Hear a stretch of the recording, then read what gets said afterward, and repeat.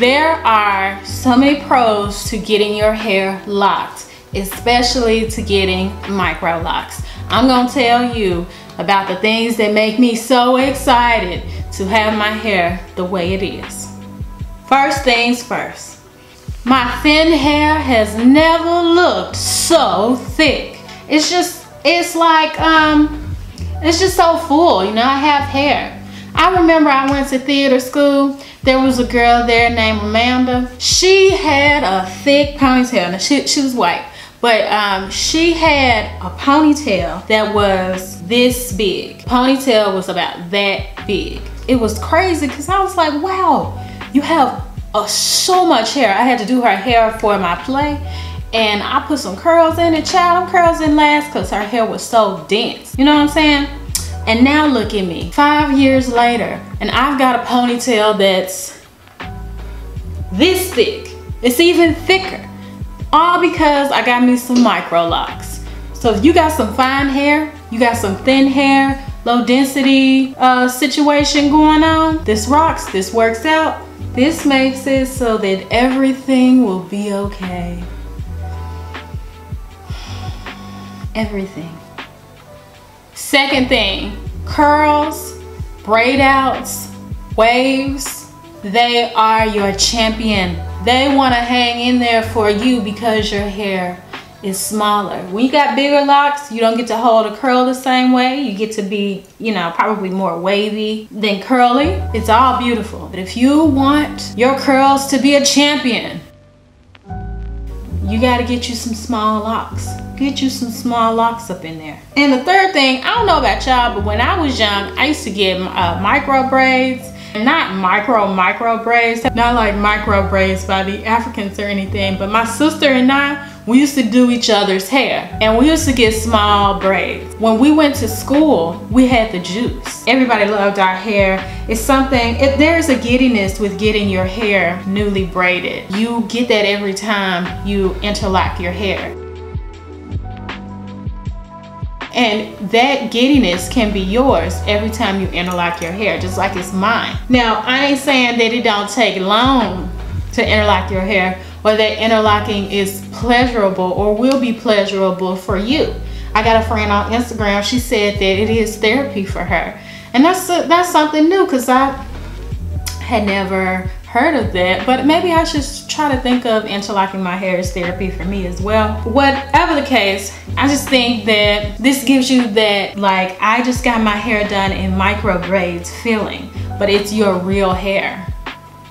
It's your real hair. Like, doesn't that blow your mind? It blows my mind, which is why I love my hair like this. I love it like this. I love it like this, okay? those are the most those are the reasons I love my hair the most. If you're someone like me and you come from a place of always doing your hair with weave but you want to be able to have that same the same changeability that you do when you have a weave then micro locks are for you too. I would try it out and also, I would encourage you to interlock them yourself because there is nothing more freeing than being able to do your hair yourself. You don't have to pay nobody. Ain't nobody gotta mess it up. You ain't got to be worried about if somebody gonna do it too tight, if they gonna listen to you when you tell them it's too tight, if you're too shy to say it's too tight.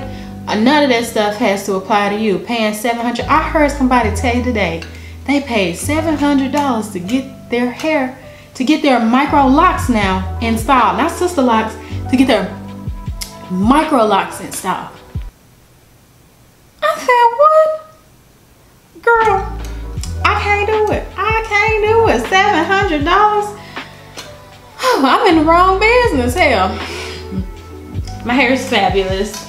I'm just telling you what, I'm just telling you about the things that excite me um, about my hair in the hopes that it may entice you to get excited about your hair too. Locks in general are awesome. I'm just telling you, is a little micro lock love, you know what I'm saying? I wouldn't even look at interlocking like a con. I would look at it like, you know, you know what? It's like working out. You know, you want to get strong, so you got to work out. You don't like working out, but you want to get strong. It's a part of the territory. It's not like a con of getting strong is that you have to work out. No, you know, that's not how that works. One of the aspects of getting micro locks that is painstakingly slow and tedious is interlocking, but it's well worth it. I do it every time. I may make it seem like I don't like it, which I don't, but I don't not like it enough to not do it. You know what I mean? Because I still like this. I just, it's so much fun having hair, having what thicker hair. You know what I mean? Like, I just, I never had that as a child. Well, I had it for a little while, but then the perms ruined it, and now I have it again, and I can appreciate, You know, like, you just can't, you can't give that away. Thank you all for tuning in. I hope y'all learned something today and I hope that you're encouraged to lock your hair after this. Whichever way you're gonna do it, freeform, micro lock, traditional locks, whatever you're gonna do. Okay, that's my time, y'all.